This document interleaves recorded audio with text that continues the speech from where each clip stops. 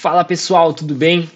Aqui quem fala é Guilherme Simar, para quem ainda não me conhece, sou gestor de tráfego e fundador da agência Strong Marketing e hoje eu vou ensinar vocês a criar a sua primeira campanha no Google Ads. Bora lá!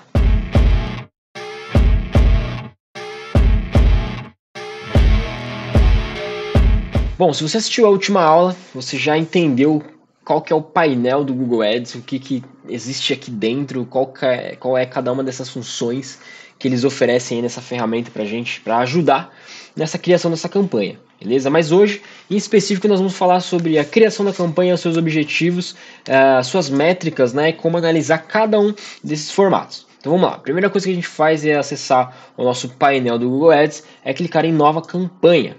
Aí nós vamos aqui em nova campanha e vai aparecer qual é o objetivo da sua campanha.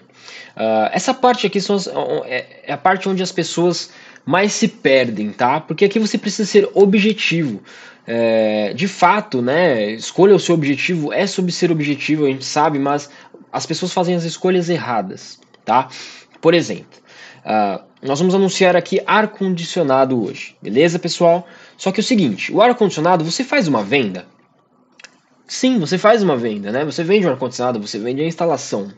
Só que a pessoa não compra diretamente um ar condicionado. Ela vai entrar em contato com você, ela vai fazer um orçamento, é, ela vai passar qual que é a metragem né, é, do apartamento ou do lugar, do escritório, do quarto que ela vai adicionar esse ar condicionado. Então existe um, um atendimento por trás, existe um serviço por trás disso. Então isso não é uma venda, isso é um lead né? Como a gente chamamos, nós chamamos de leads, né? Que são as pessoas que entram em contato querendo mais informações para fechar aquele serviço, tá? Então é diferente. Então você precisa saber analisar quando o seu produto é um lead, quando o seu produto é uma venda. Então, por exemplo, venda. Eu vendo é, capinha de celular eu tenho uma página que ela é específica para capinha de celular. E essa página tem um checkout, essa página já vai direto para o pagamento, essa página já cobra o valor do frete. Então, esse objetivo tem que ser venda. Né? Por exemplo, o e-commerce tem que ser objetivo venda, porque é o que você está buscando como objetivo final da campanha e não do seu negócio, tá? Lembrando que é, o Google Ads ele funciona através de um algoritmo onde ele vai aprendendo todos os dias, né, como sua campanha vem desempenhando.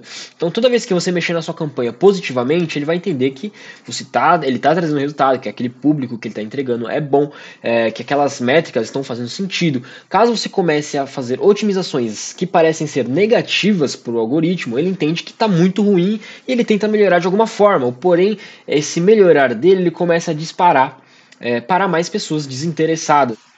Então você precisa diagnosticar né, que, o, qual é o seu objetivo principal dessa campanha, tá bom? É, as mais utilizadas são vendas e leads mesmo, mas existem outras que podem ser aproveitadas, tá bom? Claro que no começo, quando você tem uma verba mais reduzida ali, né, para anunciar, você não vai sair fazendo campanha de reconhecimento de marca ou promoção de aplicativo, a não ser que seu produto faça sentido você criar essas campanhas, né? Mas a maioria das vezes a gente vai colocar aí lead ou vendas, tá bom?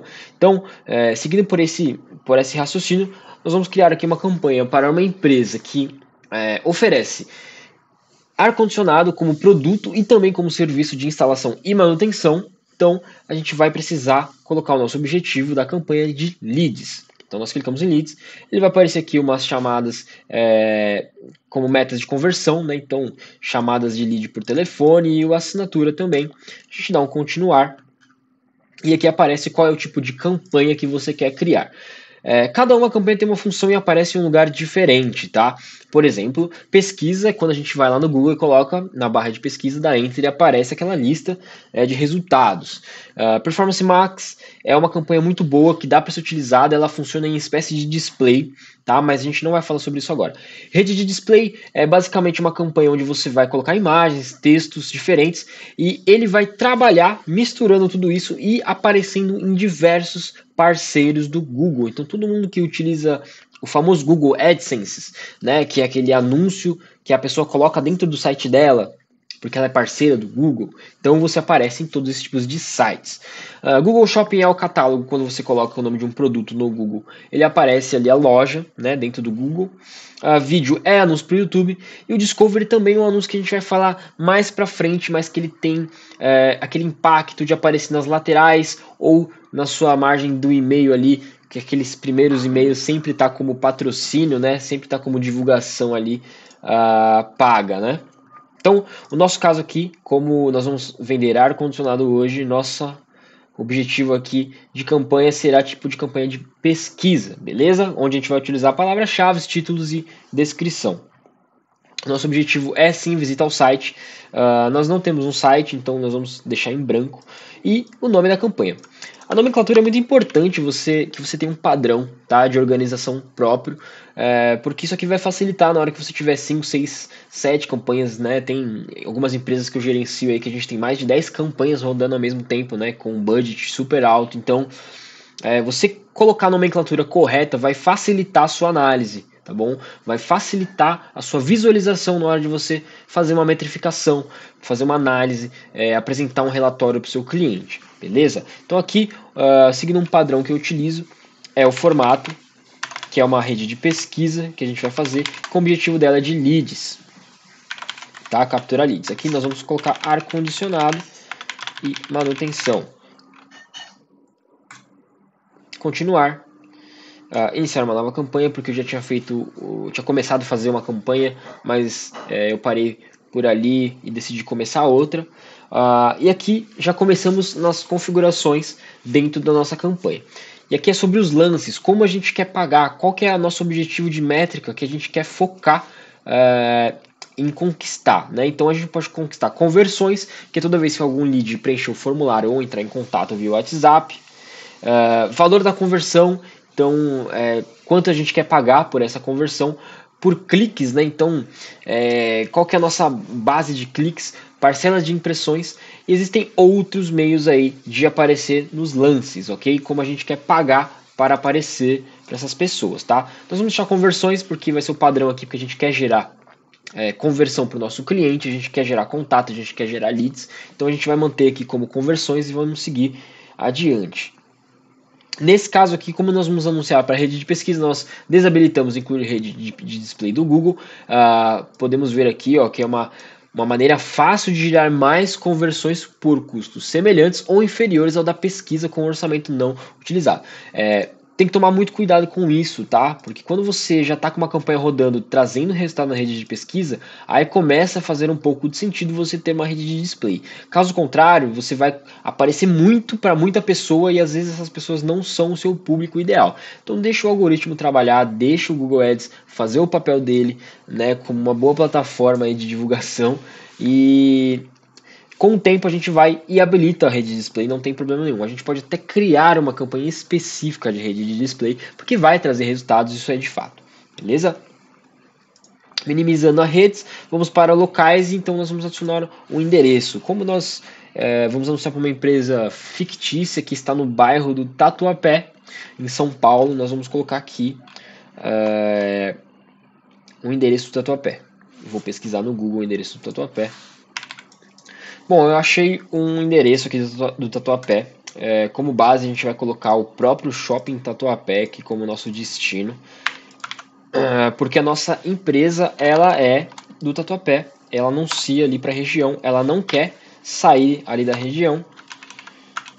Então nós vamos anunciar para ela num raio de 3 km. Então nós vamos pegar ali, ó, Belenzinho, um pouquinho do Brás, Moca, Alto da Moca, Anália Franco, um pouquinho do Parque Novo Mundo e Vila Maria. É, o que, que, é legal você analisar aqui antes de fazer sua campanha?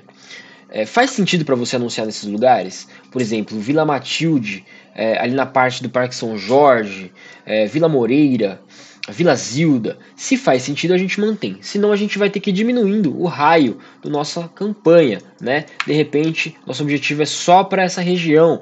Ah, mas eu queria atingir Água Rasa, Alto da Moca, então nós vamos pegar uh, o endereço mais próximo da região onde é o centro daquele espaço que queremos anunciar. Nós criamos outra localização com outro endereço aqui e ele vai aparecer outra bordinha aqui de raio para a gente anunciar, tá? Então assim a gente consegue melhorar é, qual é o, o, local que a gente quer que o nosso anúncio apareça para as pessoas, beleza? Então a gente dá um salvar aqui, continuando. Em idiomas, nós sempre, por obrigação, devemos colocar inglês e espanhol, tá?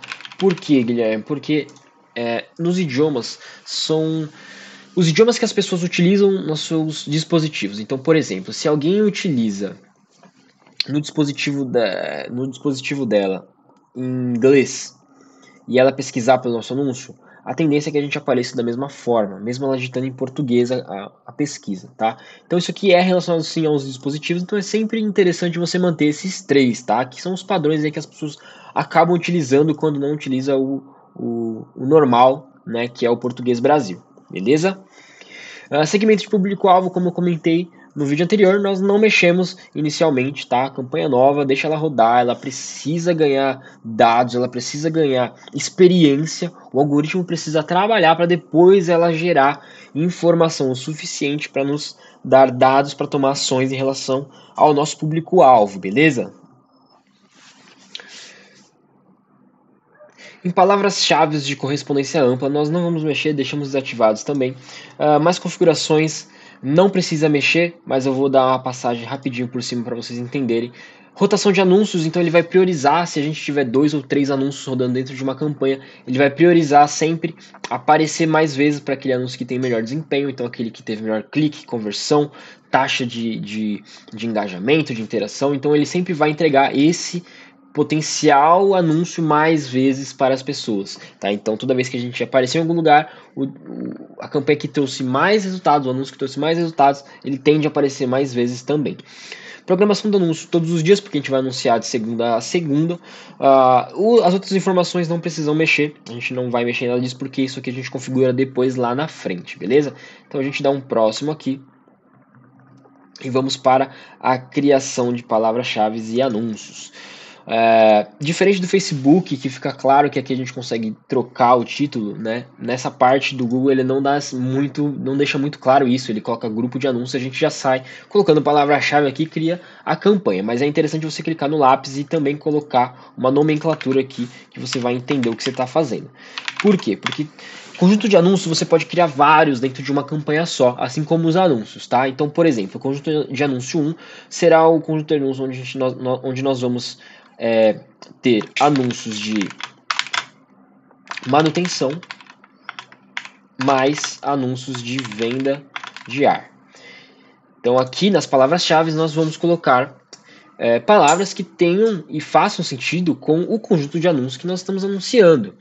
Por quê? Porque nós vamos ter um outro conjunto de anúncio depois que chama CJ02, onde nós vamos anunciar somente para venda do ar, e o 03 que será somente para manutenção. Por quê? Porque vai dar foco nessa informação. Porque às vezes a pessoa. É, o, conjunto 1 vai ser para o público frio, público que ainda não sabe, público que ainda não entende como que funciona. O, o conjunto 2 já vai ser para venda do ar condicionado do produto em si, e o 3 é do serviço. Então, às vezes a pessoa só quer a manutenção, ou ela só quer a instalação, o outro só quer o ar condicionado, porque ele vai colocar por conta própria, ou ele entende do negócio e ele mesmo vai fazer, ou ele está terceirizando o produto para instalar para algum cliente, entendeu? Então a gente atinge de várias formas diferentes, tá? Então o legal do conjunto de anúncios é você colocar palavras-chave relacionadas a esse conjunto. Nesse caso aqui, nós vamos anunciar, né, misturado manutenção e venda, então, eu já tinha separado algumas palavras-chave aqui para adicionar. Mas caso a gente queira, a gente pode inserir uma URL aqui, por exemplo, vou pegar uh, esse, essa página que eu achei aqui na internet, fazendo propaganda gratuita aí para as pessoas mas utilizar sugestões de palavra-chave, ele vai carregar a página, ele vai entender o que está escrito lá, ele já vai dar uma lista de palavras-chave. Aí você lê e vê o que, faz mais sentido para você. Então, por exemplo, limpeza de ar-condicionado, a gente faz? Não. Então a gente vai tirar essa daqui. Porque a gente faz manutenção de, de técnico, manutenção de, de chapa, manutenção de, de hardware, né? Do, do ar-condicionado, então a gente mantém ou não mantém. Instalação, a gente faz instalação? Fazemos. Nós somos uma empresa de ar-condicionado? Cara, não, não somos uma empresa de ar-condicionado. Nós vendemos e fazemos manutenção. É, algumas outras palavras que não fazem sentido nós podemos tirar. Vamos tirando, vamos tirando, higienização, vamos tirando, central, vamos tirando. E aí nós chegamos em um ponto que a gente fala, pô, legal, era isso que eu queria, essas são as palavras-chave, vamos anunciar, beleza? Mas nesse caso aqui não vamos fazer isso, porque eu já separei algumas para facilitar a nossa vida. E nós vamos seguir somente com essas seis palavras-chave aqui, beleza? Uh, descendo um pouquinho mais, nós vamos encontrar a palavra anúncios, né? Então vamos minimizar palavras-chave aqui, vamos ficar só com o anúncio aberto e a URL final.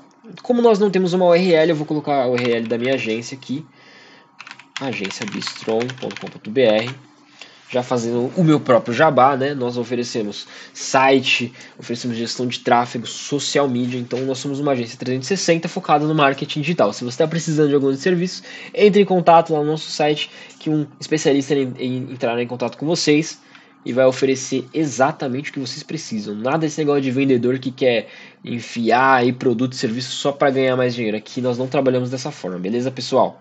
Uh, caminho de exibição é o que vai aparecer para as pessoas. Então, por exemplo, agenciabistrong.com.br barra ar-condicionado barra manutenção. Então isso daqui é o que aparece para as pessoas. Não quer dizer que é o caminho final, que é o destino final dessa URL, mas ele aparece aqui para as pessoas é, como forma de ela entender que ela está sendo direcionada para uma página específica daquele produto, daquele serviço. Sim, isso daqui é para ganhar autoridade, é para ganhar confiança na, no seu anúncio para as pessoas clicarem, tá bom? Uh, em questão de chamadas nós não vamos colocar, mas caso você tenha um, um, um, número de telefone fixo ou WhatsApp, você pode adicionar. É simples de cadastrar, bem intuitivo. Você coloca a sua região, o número do telefone, é, quais são os horários que você atende, salvar e ele já vai entrar lá como uma forma de chamada, beleza?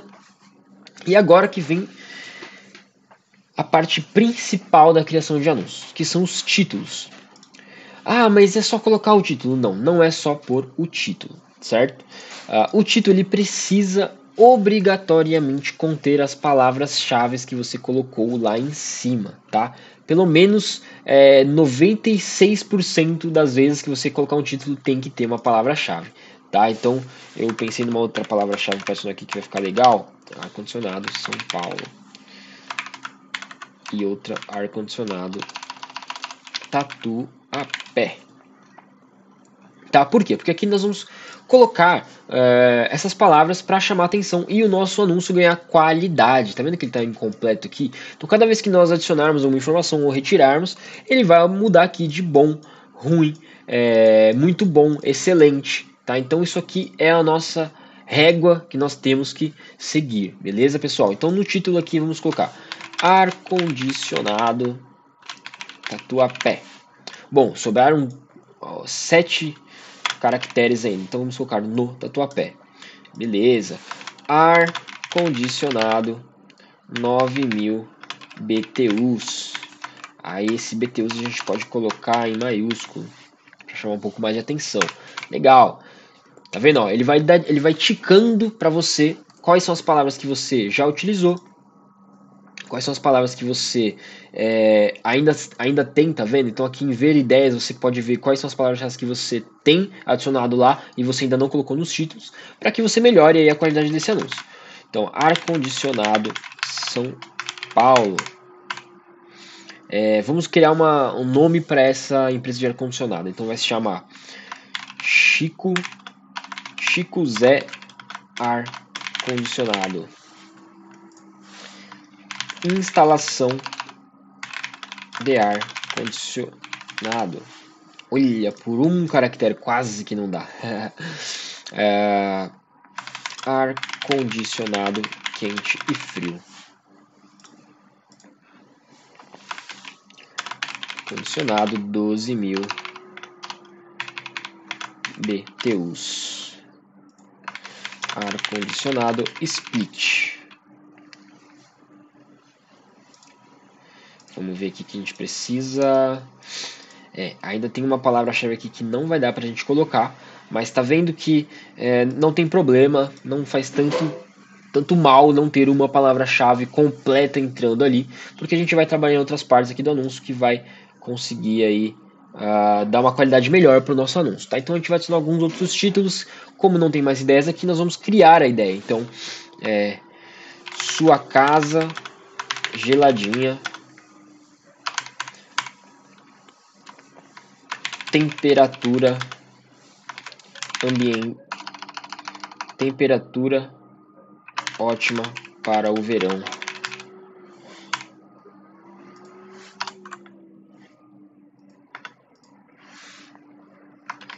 não passe mais calor no seu quarto. É, não deu essa daí. Não passe mais calor. Ponto. Vamos ver isso aqui na sua casa. Também não dá. Não passe mais calor. Tá vendo que o nosso anúncio começou a ganhar uma qualidade? Isso que a gente nem adicionou a descrição dele ainda. Beleza, pessoal? Então aqui é, é muito interessante você levar em consideração essa qualidade de anúncio, que vai ajudar você a ter um bom desempenho na sua campanha, beleza? Então aqui na descrição nós vamos colocar é, empresa. Vamos supor que essa empresa já tem 10 anos de mercado, é, diversos produtos sendo, sendo entregues, né, bastante avaliação. Então aqui a gente vai colocar as provas sociais. Empresa há mais de 10 anos no mercado de ar condicionado. Ponto. Instalação, venda e manutenção. Ponto. Sua casa nunca mais precisa passar pelo calor absoluto do verão. Ar-condicionados Chico Zé.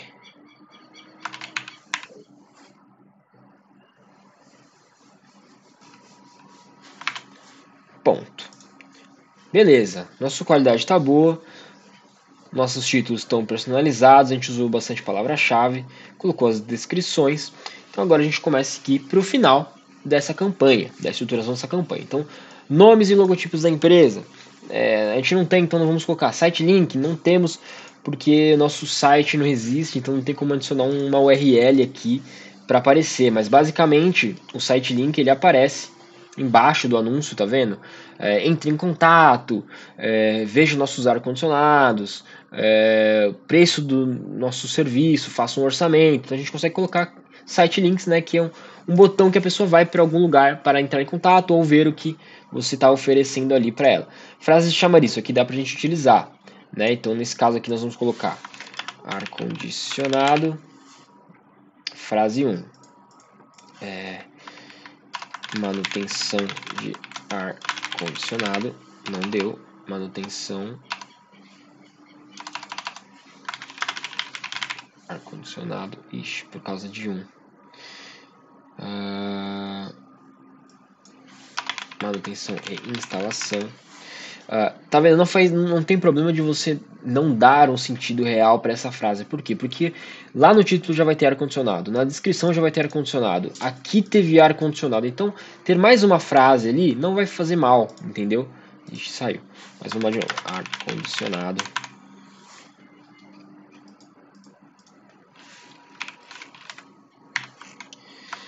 Manutenção e instalação. qualidade e preço. Faça um orçamento. Grátis.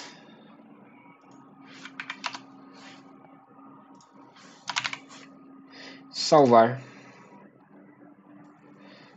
Já entrou aqui no nosso site link. Aplicar e pronto, nossas frases de chamariz também já estão configuradas. Então nosso anúncio já ganhou forma, né? Que a gente consegue ver uma pré-visualização de como ele vai ficar. Então, olha, ele está trocando aqui de informações, de títulos, de descrições, tá vendo? E aí isso aqui vai, vai ganhando robustez aí para o nosso anúncio, beleza? Lembrando que o nosso anúncio está com uma qualidade boa, então isso aqui é legal porque ele vai performar bem mais rápido, é, tende a trazer bem mais resultados. E aqui ele passa uma breve análise do que pode ser, do que aconteça, né? Lembrando que você não deve nunca olhar para isso aqui e achar que isso aqui é real, mas isso aqui é uma estimativa. Estimativa é que pode acontecer ou não. Que a gente tenha 44 conversões semanais em cima de ar-condicionado, que o custo dessa conversão seja de 15 reais e que a gente gaste 696 reais durante a semana para gerar todos esses resultados. De 44 pessoas que três, duas fechem serviço com você e que você cobre ali é, mil reais de serviço mais o ar-condicionado e ali e sua margem de lucro em cima disso, você já saiu muito no lucro, tá pessoal? Então, por isso que tem que sim é, fazer anúncio e não pode ter medo de investir em anúncio, porque quando chega é, o benefício de você é, poder vender cada vez mais e escalar as vendas, Você começa a querer sempre investir mais, né? Uh, ah, não, não quero confirmar a identidade agora. Bom, pessoal, deu um probleminha de autenticação aqui da minha conta do Google Ads, mas eu já resolvi. Ah, e agora ele faz um, uma revisão geral, né? Onde a gente vai conseguir ver tudo que a gente configurou, tudo que a gente fez, no nosso orçamento, nossas palavras-chave, quantos anúncios nós temos, toda a configuração que nós colocamos e configuramos ali atrás, aqui ela está mostrando um resumo para a gente, a gente consegue né, passar aqui para o lado para ver as recomendações. E depois de ter analisado tudo e revisado tudo, você vai lá e publicar a sua campanha. E é isso aí, pessoal. Sua campanha está criada. A sua campanha já está nas redes do Google para serem des, é, desviadas aí para impressão, para cliques, para conversão, tá? E aí onde você vai começar a ter seus resultados, beleza? Uh, aproveitando que a gente está aqui nesse painel onde nossa campanha ela fica armazenada, então nossa campanha aqui é essa. Aqui serve a, a alguns, algumas métricas né, que nós vamos analisar diariamente para tomar uma decisão. Então, por exemplo, cliques. Ah, legal, impressão, pô, legal, CTR está aqui, CPC, custo, taxa de conversão, conversão, custo por conversão. Então aqui nós vamos poder ter uma visão geral do que está acontecendo para tomar uma decisão. Por exemplo, é, mil impressões, tivemos um clique, então quer dizer que a nossa CTR está super baixo, então a gente tem que melhorar isso. E como que a gente melhora? Para impressão, né? Então toda vez que a gente aparece numa pesquisa aqui no Google, então a gente apareceu aqui ar condicionado, é, Chico Zé ar condicionados, e a pessoa não clicou. Então quer dizer que o nosso problema está no nosso anúncio. Beleza? Aí nós vamos tomar uma atitude em relação a isso. Então, como a gente melhora o nosso CTR, que é o nosso clique sobre a impressão? É no anúncio. Ah, como a gente melhora a nossa conversão? Aí a conversão já é na página de vendas, entendeu? Então a gente precisa analisar e entender cada uma dessas métricas para tomar uma, uma, uma decisão e uma atitude assertiva. Por exemplo, nosso custo, custo por clique médio, por que, que ele está muito alto? Por, então é a nossa palavra-chave. Então nossas palavras-chave estão altas. Por quê? Porque estamos usando palavras-chave muito amplas e o lance dela é mais alto. Então a gente tem que é, ajustar esses lances, ajustar essas palavras-chave, sempre melhorando isso. Beleza? Conversão e taxa de conversão também são métricas super importantes que a gente tem que analisar. A conversão é toda vez que alguém entra na nossa página de vendas e manda um contato. Nesse caso aqui, dessa página não tem, mas um VS. Conhece nosso serviço, então a gente vai ser direcionado para entrar em contato com eles. Então, aqui é uma conversão. E para gerar conversão também é a página de vendas, tá? Então a gente tem uma boa página de vendas, nós temos conversões de contatos, de leads, de vendas e tudo mais, beleza? Agora, taxa de conversão. O que quer dizer a taxa de conversão? Quer dizer que a cada pessoa que entra, entra no seu site, que é o clique, é, ela faz uma conversão. Então, a cada 100 pessoas, uma converte. Pô, mas por que, que a cada 100 pessoas uma está convertendo? O que, que eu estou fazendo de errado? Se 100 pessoas que estão buscando por ar-condicionado entraram na minha página, o que, que tem lá de diferente que a pessoa não está com interesse mais em, em continuar esse atendimento, continuar esse contato ou, ou receber esse contato. Então, provavelmente está no nível de consciência dessa pessoa, que isso também é trabalhado dentro da página de vendas. Então, você precisa, é, inicialmente, né, falando, você vai deixar acontecer. Você deixa acontecer, analisa, pega um Excel, pega uma folha de papel, anota e você começa a analisar o que, que você pode fazer para melhorar na próxima semana.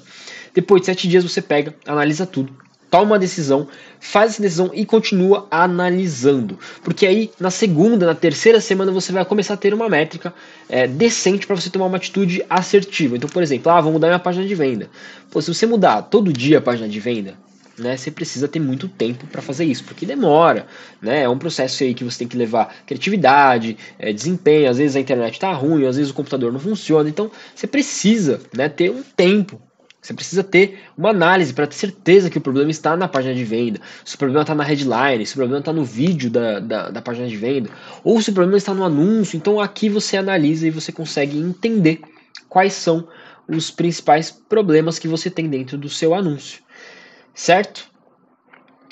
Bom, pessoal, campanha criada, você já tomou o seu primeiro grande passo da sua vida, que é criar uma campanha no Google. Você sendo gestor, você sendo é, funcionário, você sendo o próprio dono do seu negócio. Quero te parabenizar por você chegar até aqui, tá? Porque é uma decisão muito difícil para a maioria das pessoas começar a anunciar na internet. Muitas pessoas têm preconceito. Então, se você tomou essa atitude, se você chegou até aqui e você está disposto a fazer acontecer, cara, você precisa querer. Você precisa falar assim que não é um gasto, não é um gasto fazer anúncio, é um investimento, né?